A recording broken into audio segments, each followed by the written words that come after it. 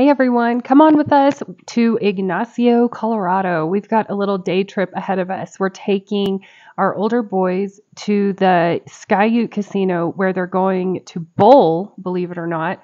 And then we are going to a winery. It's called Fox Fire Farms and I'm really excited to check it out and see what all they have to offer. We've never been to Ignacio before. I think we've driven through, but we've never actually stopped and spent any time in the town. So let's check it out.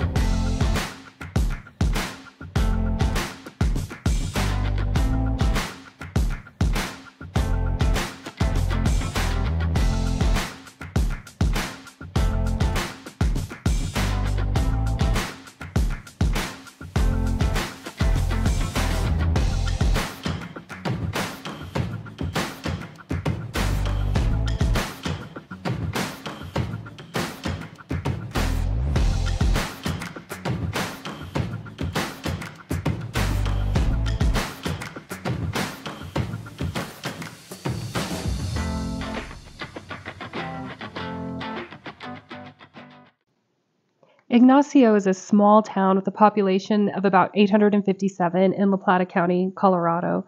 It's about 30 minutes from Durango and about 50 minutes from Pagosa Springs. And if you're coming from the east, um, from Pagosa, I recommend taking Highway 151 instead of 160 because Highway 160 can get pretty backed up during the busy season with um, RVs and just all the different tourist traffic. And Highway 151 is a lot more scenic, a lot less crowded, and it actually takes you by Navajo State Park where the huge lake is. So I think it's a little bit better of a route. Um, Ignacio actually means fiery one, apparently, and it, it felt like that today. It was pretty warm. Ignacio is also the headquarters of the Southern Ute Indian Reservation.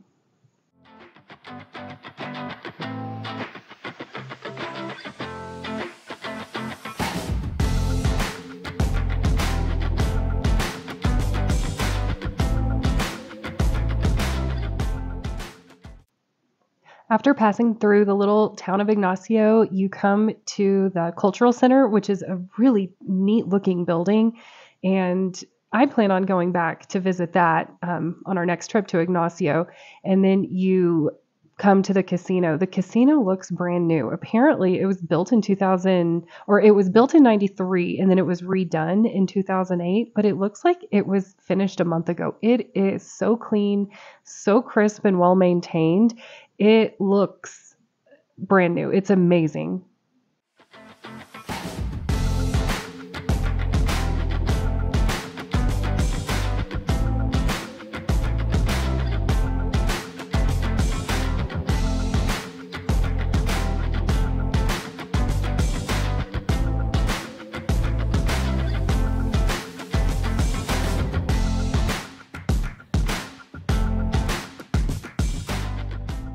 All right, the boys are dropped off. They are going to have so much fun bowling. It's a really nice bowling alley. I'm impressed. And we walked through the casino by accident, and it was nice in there. It didn't have a smoky feel or anything like that. So if you're somebody who likes to hit up the slots, I say go for it at the Sky Ute Casino.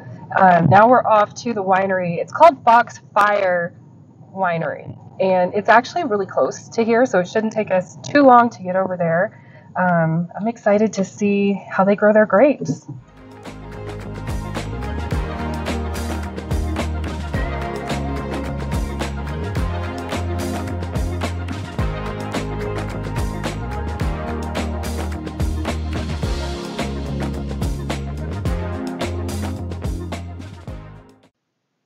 Our GPS took us straight there. There are not a tremendous amount of signs though, so keep an eye out. Um, there's little A-frame signs that say winery, but not a big billboard or anything flashy that's going to grab your attention. Although, I mean, our GPS got us right there, so it should get you there too.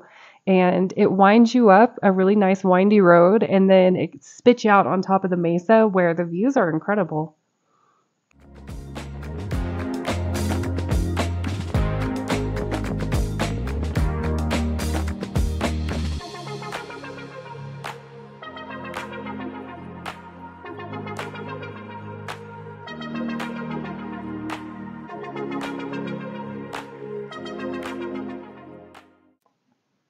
We finally made it to the winery.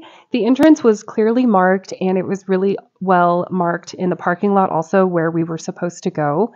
And as we pulled in, I instantly noticed the gardens. They are huge perennial flower beds that are just swarming with pollinators. It was so pretty. And we were greeted and we went on into the tasting room.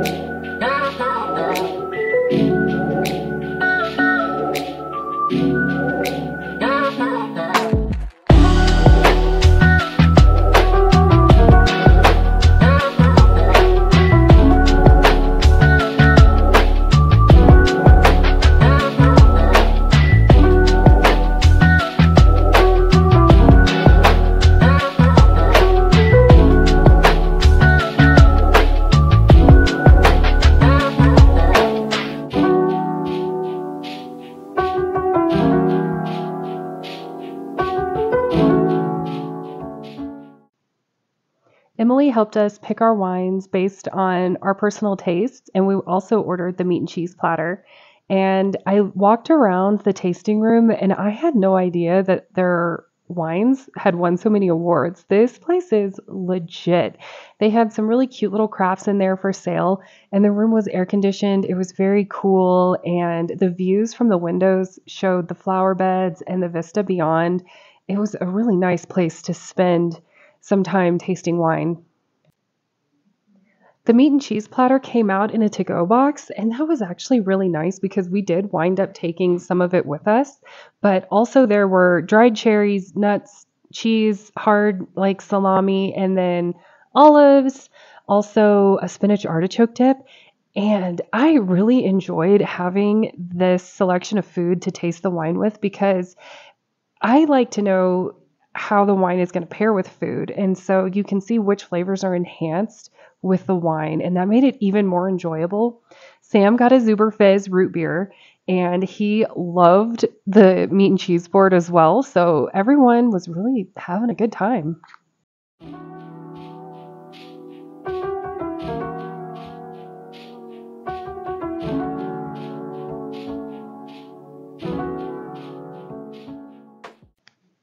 we tasted four different wines the dry rosé, Aromella, Marquette, and the Corot Noir.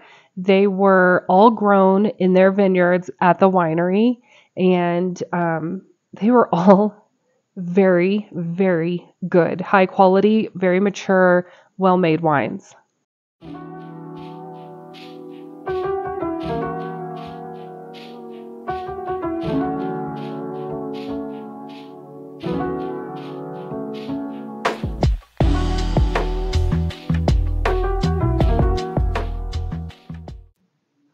After our tasting, we walked out to the vineyard to see the grapes growing. And on the way, we passed by, I think it was cornhole and different yard, yard games, I guess you call them. So I think you could bring the family, you could bring your kids and they could play, they could get a root beer while you taste wine, and you could really have a nice, enjoyable afternoon. The grapes look absolutely beautiful. And I think in the fall, when they turn, they'll be stunning.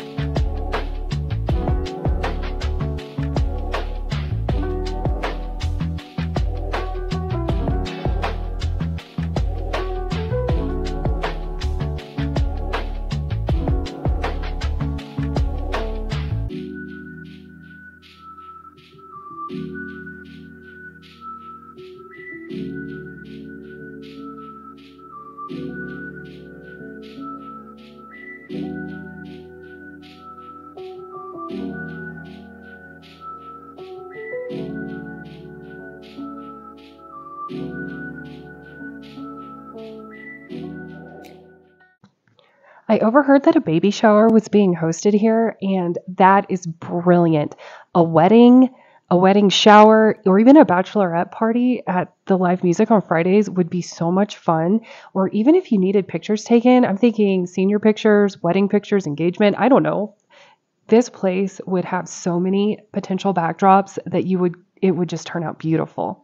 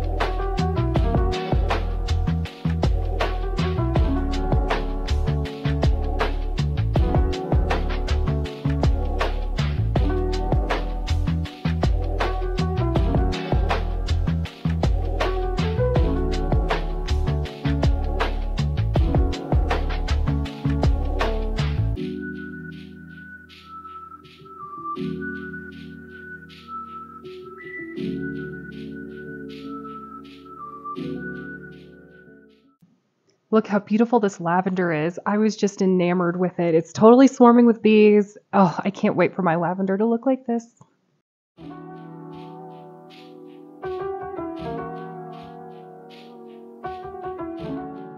All right, we are done at the winery, which was such a fun experience. And now we are headed back to the casino to go get the bigs from bowling hopefully they had a good time. We haven't heard from them yet. They were going to play two games, and I was honestly too embarrassed to ask, how long does it take to bowl two games? so hopefully it takes as long as it takes for us to have left and to get back for them to bowl two games.